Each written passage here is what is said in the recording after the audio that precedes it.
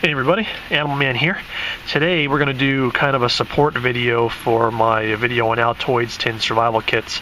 This is how to make the Vaseline cotton balls. So, I'm sure pretty much everyone's got cotton balls in their house. You need two cotton balls, you need Vaseline or an equivalent petroleum jelly any brand. And the only other thing you might not have is these little tiny bags, which are kind of cool. I mean, you can use a Ziploc, but I think I got this bag of 100 little tiny bags at the arts and crafts store. I think it was about three bucks. And these are perfect size to hold two of these cotton balls. So I'm going to get that open and ready to roll here. Things are about to get messy. So the cool thing about these fire starters are um, they're practically free to make, very very cheap to make, and each one will burn for five minutes. So you got a two pack here, so you got two five minute shots. Or if you want to make a fire and it's not that wet or anything, you can break these apart and get several shots out of each one.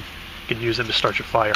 So some people just swab that in the jelly but only a little bit of jelly gets on there. We want to saturate this thing so you get a big glob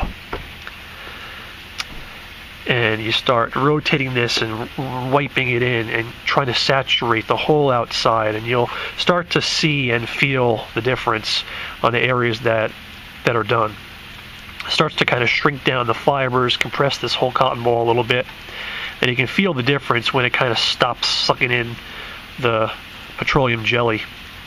So just do a little bit more for this one. This one's done.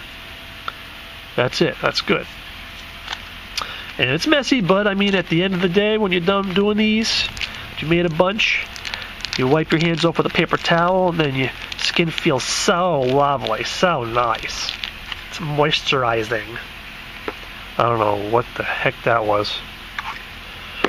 These things just pop in my head. Anyway, so here we go with this one.